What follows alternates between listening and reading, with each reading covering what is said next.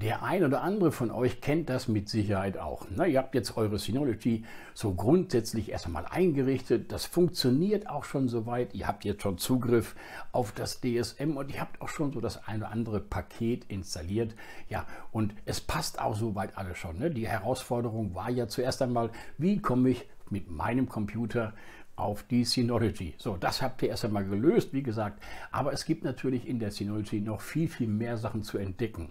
Ja, nicht nur so zu entdecken in Anführungsstrichen, sondern es gibt natürlich auch dort viel, viel mehr Sachen, die man einstellen muss. Das hängt immer davon ab, was ich denn mit meinem System vorhabe. Wenn ich zum Beispiel nur, ja, ich sag mal ganz klassisch das System als Backup-System nutze, ja, dann muss ich mir halt eben die entsprechenden Pakete installieren, wie zum Beispiel Active Backup oder vielleicht auch das Drive, je nachdem, was ich denn da sichern möchte und vor allen Dingen, wie ich das Ganze sichern möchte.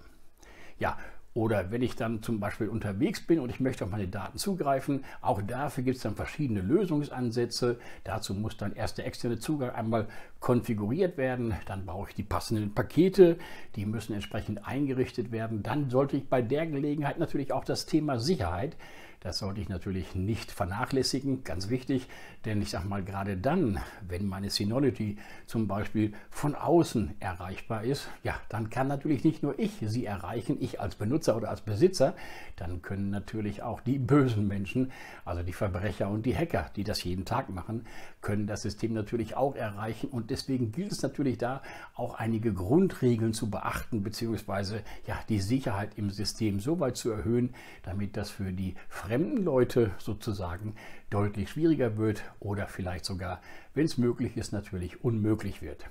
So, jetzt ist natürlich so ein Synology-System nicht mal eben in ein, zwei Stunden fertig eingerichtet. Das geht überhaupt nicht, das dauert viel, viel länger. Und aus dem Grunde habe ich hier diesen zehnstündigen, fast zehnstündigen Kurs ähm, für euch eingerichtet, wo wir tatsächlich, ja, ich sag mal, von Beginn an einmal starten. Wie wird das System so grundsätzlich eingerichtet? Was sind so die ersten Schritte, die ich tun muss? Ne? Was sind zum Beispiel die gemeinsamen Ordner, die Freigaben, die Benutzergruppen, Berechtigungen und diese Dinge und so eine kleine Ordnerstruktur, dass ich mir die erst einmal aufbaue. Das sind natürlich alle so Themen, die wir hier im ersten Teil, sage ich mal ganz einfach, behandeln werden. Anschließend gehen wir mal tiefer rein und gucken mal ja, unter die Haube. Das heißt also, wir gucken mal genau in die Systemsteuerung hinein, was man denn alles in der Systemsteuerung einstellen muss oder beziehungsweise was man also einstellen kann. Aber ich sage mal, was man also einstellen kann, ja, brauchen wir vielleicht nicht alles unbedingt, aber ich sage mal, die wichtigen Dinge, die wirklich eingestellt werden sollten oder worauf ihr tatsächlich achten solltet, das werde ich euch hier in diesem Kurs natürlich auch zeigen.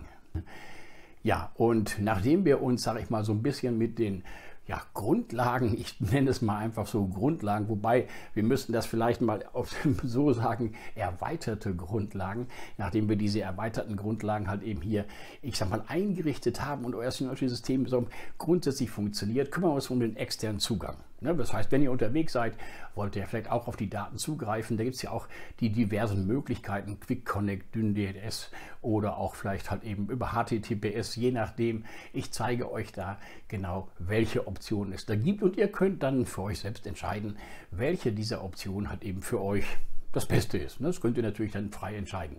So, und dann, wenn das alles soweit funktioniert, ja, dann sind wir schon relativ weit in dem Kurs fortgeschritten. Dann schauen wir uns natürlich auch an, wie, was es denn noch alles für Pakete gibt, ja, die ich auch so im Tagesgeschäft benutzen kann. Wie zum Beispiel Office oder Drive oder Synology Fotos. Wir werfen dann natürlich auch mal einen Blick drauf und gucken mal, wie wir das Ganze halt eben zusätzlich mit einrichten können. Ja, genau. So, und das ist halt eben so, sag ich mal, die Grundlage von diesem Kurs. Natürlich ist in diesem Kurs noch viel, viel mehr drin und ich gehe auch detail, ganz detailliert auf die einzelnen Punkte ein. Ihr könnt ja mal ganz einfach hier unten in dieser Kursbeschreibung einfach mal reingucken. Da findet ihr ja sämtliche Inhalte, sämtliche Lektionen und sämtliche Kapitel. Und da gibt es auch in der Regel immer irgendwo ein kleines Vorschauvideo, damit ihr ungefähr wisst, was euch in diesem Kapitel erwarten wird. Okay, So, also wie gesagt, das ist hier der DSM 7 Compendium Kurs und ja, der Kurs geht fast zehn Stunden, aber es ist natürlich nicht nötig, dass du diesen Kurs, sag ich mal, am Stück, zehn Stunden lang am Stück direkt an einem Streifen durchführst.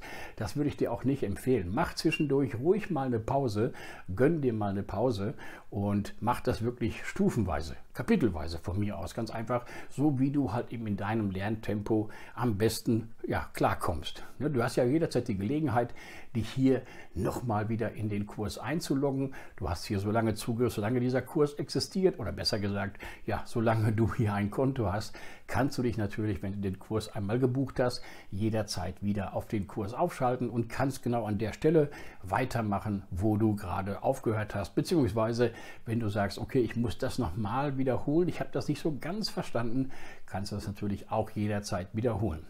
Ja, und in der Zukunft, wenn du den Kurs dann einmal durch hast, keine Sorge, dieser Kurs ist dynamisch. Das heißt also, wenn sich irgendwo etwas Gravierendes ändert, dann bekommst du das hier auch natürlich mit, weil ich werde das dann in diesem Kurs hier auch veröffentlichen.